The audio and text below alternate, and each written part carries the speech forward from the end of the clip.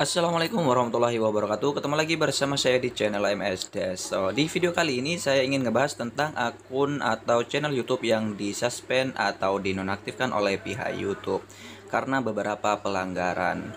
Tapi sebelum itu jangan lupa klik tombol subscribe-nya Nyalakan lonceng notifikasinya supaya kalian dapat update video terbaru dari channel MS Des so, Oke, di sini ada beberapa teguran yang perlu kalian perhatikan. Kurang lebihnya ada tiga teguran ya teman-teman di sini untuk teguran yang pertama, jika kami mendapatkan konten Anda tidak mematuhi kebijakan kami, untuk kedua kalinya Anda akan menerima teguran. Dan untuk teguran yang pertama ini hanya berlaku uh, satu minggu ya teman-teman dan akan dipulihkan kembali. Hanya saja tidak bisa mengupload video dan yang lain seperti yang kalian uh, baca sendiri di sini. Dan untuk teguran yang kedua dan yang ketiga di sini sudah dijelaskan jika Anda menerima teguran kedua dalam periode 90 hari yang sama dengan teguran pertama Anda tidak diizinkan untuk memposting konten selama dua minggu jika tidak ada masalah lebih lanjut begitu ya teman-teman. Dan untuk teguran yang ketiga ini yang paling parah di sini jika channel YouTube kalian itu sudah mendapatkan teguran yang ketiga kalinya maka dalam periode 90 hari yang sama channel akan dihapus secara permanen di YouTube. Dan buat teman-teman yang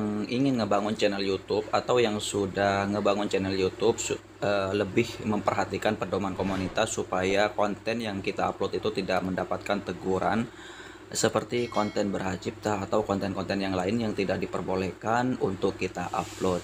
Dan buat kalian yang channel YouTube-nya sudah terlanjur dinonaktifkan atau disuspend oleh pihak YouTube, eh, kalian bisa gunakan cara ini untuk eh, pengajuan kepada pihak YouTube supaya eh, channel kalian kembali diaktifkan atau normal kembali ya teman-teman. Nah di sini kebetulan ada salah satu subscriber saya yang mengalami hal yang serupa, channel YouTube-nya dinonaktifkan. Tapi untuk akun Google-nya itu masih normal-normal saja. Kita buka Gmail juga masih normal-normal saja. Hanya saja di sini channel YouTube-nya disuspend atau dinonaktifkan oleh pihak YouTube. Dan terima kasih buat pemilik akun ini, buat Mas Purwanto yang sudah mengizinkan saya untuk um, meminjam akunnya untuk sementara dan di sini saya juga mengajukan permohonan kepada pihak YouTube untuk uh, akun dari Mas Purwanto ya teman-teman dan mudah-mudahan channel dari Mas Purwanto bisa normal kembali dan diaktifkan kembali.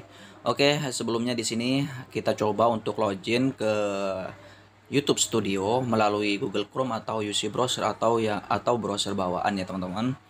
Ya di sini kita tinggal masuk saja dan keterangannya seperti ini. Tidak dapat mengakses produk Google.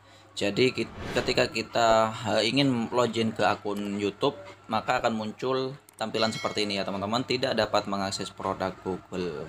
Jadi di sini apa yang perlu kita lakukan? Nah, jadi kita hanya perlu mengirim formulir pengajuan permohonan kepada pihak YouTube supaya pihak YouTube melakukan pengecekan kembali ke channel yang kita punya begitu ya teman-teman Nah untuk link formulir pengajuannya itu kalian tinggal klik saja linknya di deskripsi video ini di bawah tapi eh, di sini kalian tidak perlu klik eh, hubungi kami yang ada di form ini ya teman-teman.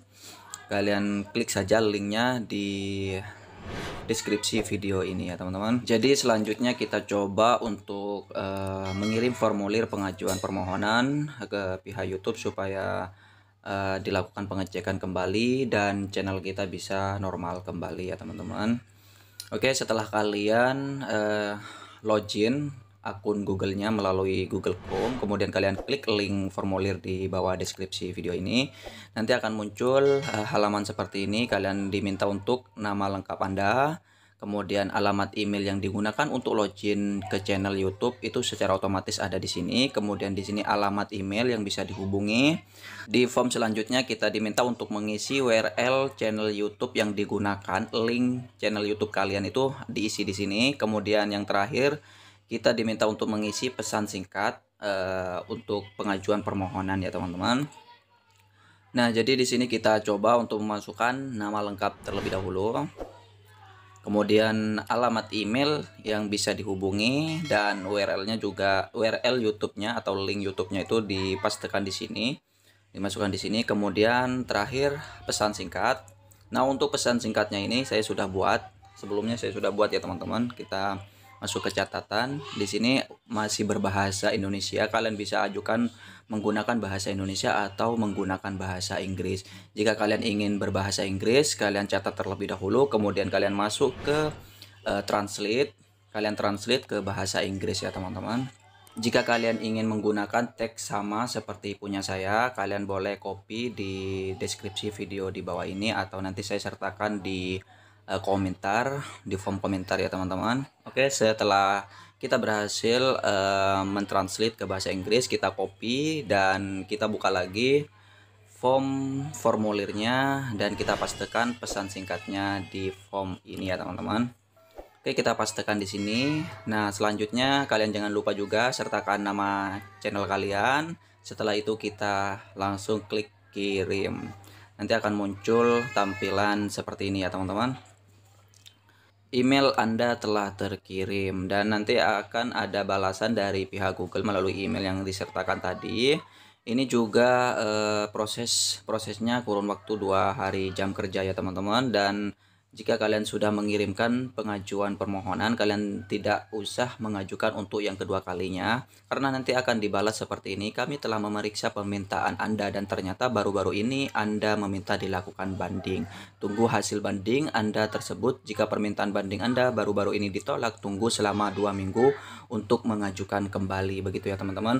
Tapi jika channel kalian sudah berhasil diaktifkan kembali, nanti akan terkirim email dari pihak YouTube uh, isinya seperti ini. Setelah meninjau akun Anda, kami telah mengkonfirmasi bahwa akun YouTube Anda bukan merupakan pelanggaran persyaratan layanan kami. Karena itu kami telah membatalkan penangguhan akun. Ini berarti akun Anda telah aktif dan berfungsi kembali. Jadi kurang lebihnya seperti itu ya teman-teman. Dan terakhir dari saya, buat kalian yang sudah ngebangun channel YouTube tapi masih dinonaktifkan channelnya, tetap semangat ya teman-teman. Semoga channel kalian kembali aktif dan tetap uh, semangat membuat kontennya. Oke, terakhir dari saya, Assalamualaikum warahmatullahi wabarakatuh.